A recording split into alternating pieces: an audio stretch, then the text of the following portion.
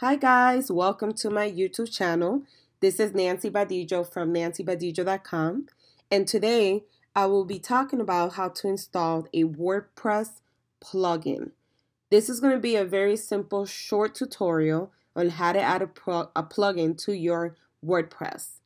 Now, do keep in mind that in order to be able to add any plugin to your website, you must be an admin of that site. If it belongs to you, and that's your your blog or work or website, then you're fine. You'll be able to do it. If you're adding it for someone else, you have to be an admin. If not, when you go in the plugins, it will not give you the capability to actually even do it.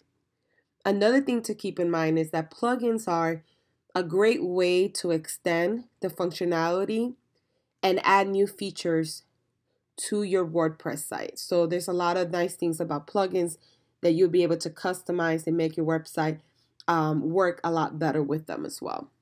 So let's get started on the tutorial. So all, the first thing will be log into your WordPress site. Another thing to keep in mind as well that I forgot to mention is that in order to be able to add plugins, the website has to be a self-hosted site. That means that you are paying for it. If you're doing the free version of WordPress, um, a lot of the plugins are not available for the free ones. So just keep that in mind in case you're trying to add a plugin on a free website and you're not able to. So in order to begin, all you have to do is if you go to the sidebar right here, you're going to see all the different features that your WordPress has. All you have to do is click on plugins and it's going to open a new window. And if you already have some plugins, you'll see some here. So these are all the plugins that I currently have installed in my in my blog. So if you're looking for a specific plugin, um, all you have to do is click here. It will say add new. So that's going to open a new window. And then if you know the plugin that you want, all you have to do is pretty much look it up. So I'm going to look up backup WordPress. And this plugin is the easiest and most beginner friendly um, plugin to back up your website. Um, and it will store up all your information in case something happened that you got hacked or you got a virus or something happened that you lost all your information, you will have it installed. So this is a plugin here. However, when you type in backup WordPress here on the search, you will find you will see other plugins so you could do your research, you know, you could just go through them and and kind of see which one you want to install. I highly recommend doing your research before installing any plugin. So one way to do that is if, if somebody recommended the plugin to you. If not, and you're just looking for one and this is your first time, what you could do is just um, if you click on the first one that you see, let's say this is the one that you want to kind of add. Um, when you click on it, it's going to give you a little bit of description of what the plugin is about. And if you go here, it's going to show you the installation. Most, majority of them will have them here. This is like a little clip, a little a link that you click on. It will take you to step-by-step -step tutorial. Frequently asked questions. So this is going to show you other questions that people say. What happens if you get an error message? Um, change log for security reasons. Screenshots of how to install it, which is really nice um, because this will help you step by step and then the reviews as well. So you could go in here and see what other people are talking about, how many reviews it has. Um, that's another great way to see if a plugin is worth having.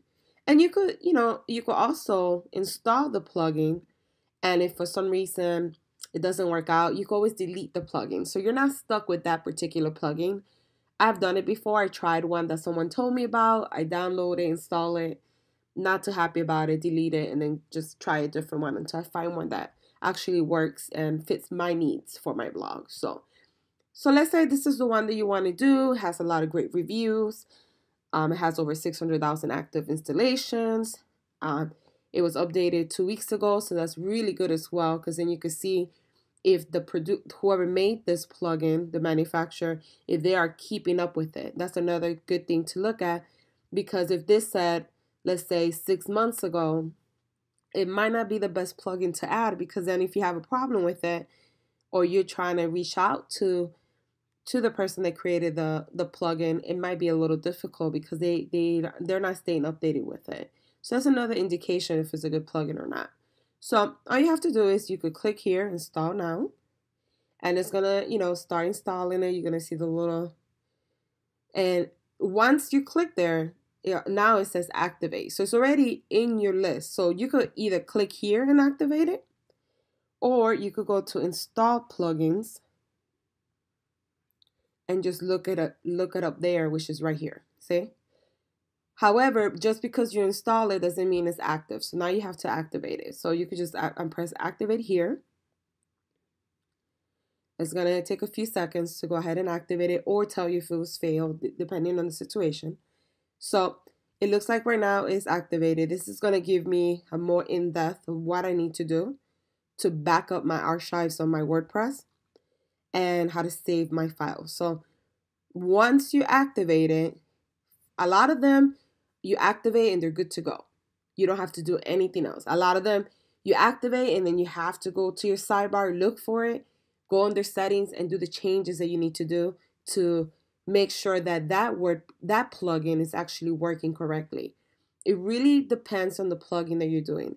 Some are a little bit more in depth, like you have to do a couple more steps, and some are just click, install, activate, and that's all you have to do. Um, so this completes the tutorial on how to add a plugin to your WordPress. Um, the biggest thing I could say is make sure that you read the you read the reviews make sure that the plugin has a good rate of um, getting updated as, as frequently as it can. And also make sure that it's something that you're going to use.